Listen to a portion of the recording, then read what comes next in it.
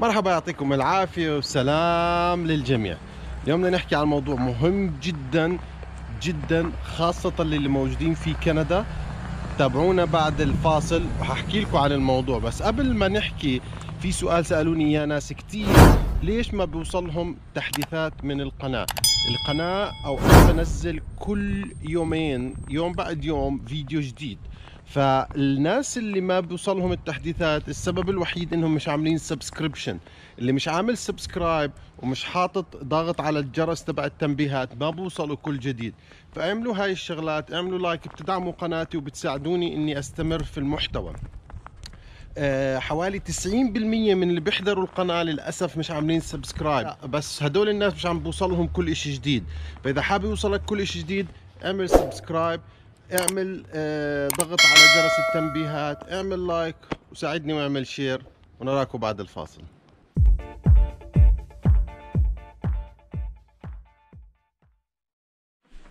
اليوم بدنا نحكي عن خطأ كبير كبير كبير بقوم فيه كثير من المهاجرين الجدد أو اللي عاملين landing بسموها.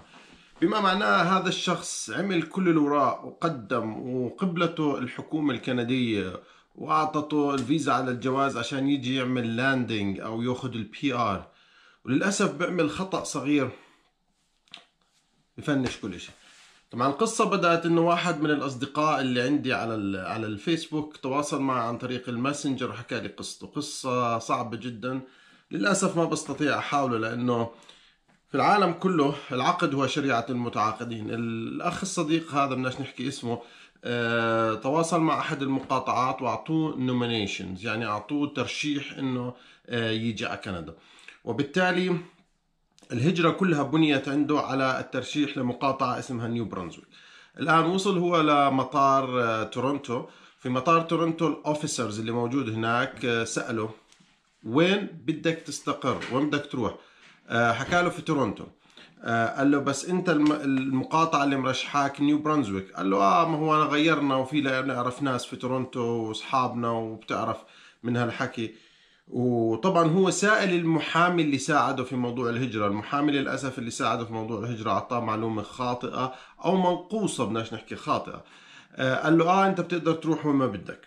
المعلومة نصفية okay؟ آه القانون في كندا لا يجبرك أنك تقيم في مكان معين. أنت ككندي أو مقيم دائم تستطيع لك حرية التنقل في كل كندا. لكن الإنتنشن تبعك في الهجرة لازم يكون للمقاطعة. يعني لو رحت جلست يوم واحد على الأقل وبعديها انتقلت على أي مكان آخر هذا لا يخالف القانون. لكن عدم روحتك أصلا على هذيك المنطقة أو عدم محاولتك الذهاب إلى هذيك المنطقة هذا يخالف القانون. فبالتالي ال officers سألوا هل معك تذاكر لنيو برنزويك؟ قال له لا ما شريت تذاكر. آه قال له طب أنت هل فعلا حتجلس؟ قال له آه أنا حتى بدي أسجل اولادي واستأجرنا بيت في تورونتو. فكانت هاي الطامة الكبرى ال officers اللي في المطار له الهجرة كلها.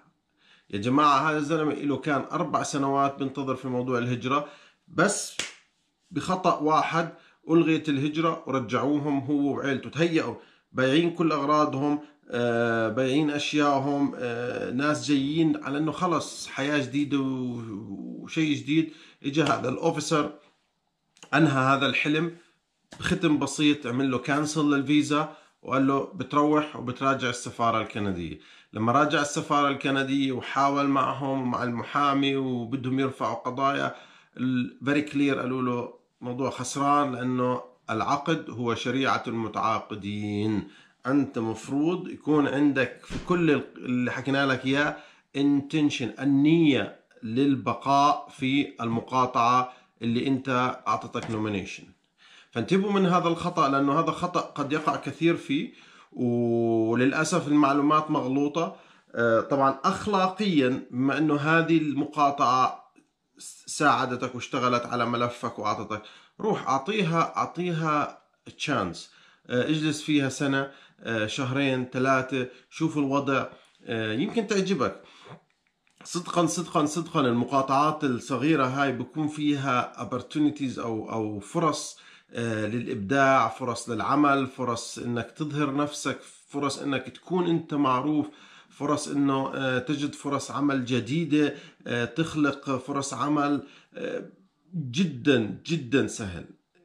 مخالفا لتورونتو مثلا تورونتو مدينة كبيرة وجميلة وفيها عرب كثار وكل الحياة سهلة يمكن فيها بزنس كثير اللي خاصه اللي بده يشتغل بشركة يمكن يلاقي أسهل. لكن إنك تعمل أنت شيء جديد أو مميز. يعني مثلا بدك تفتح مطعم عربي أو والله ما في 60 مطعم. شو الفرق عن مطعمك عن المطاعم المفتوحة؟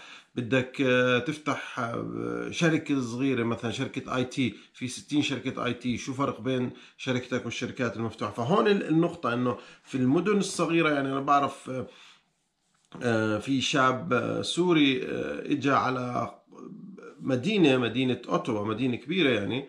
وقال لهم لا أنا أنا ابن قرية وبدي أروح أعيش في قرية. فانتقل آه، على آه، قرية. طبعا هم بكيفوا على الأمور هاي. انتقل على قرية بعيدة حوالي ساعة ونص عن أوتوا آه، سواقة سيارة.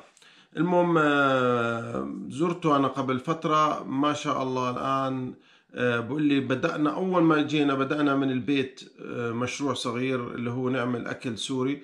catering بسموه إنه نروح على يعني نودي على البيوت. آه، مثلا بطل بطلبات عند واحد عنده عزومة عنده إشي. قال لي بطلنا نلحق أنا ومرتي بطلنا نلحق.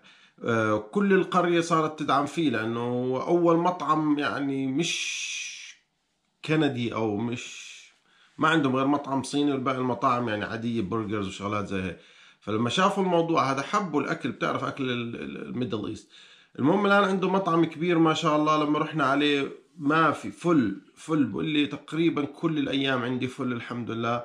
آه عمل sponsor لأمه ولأبوه ولأخوه الان وعيلته.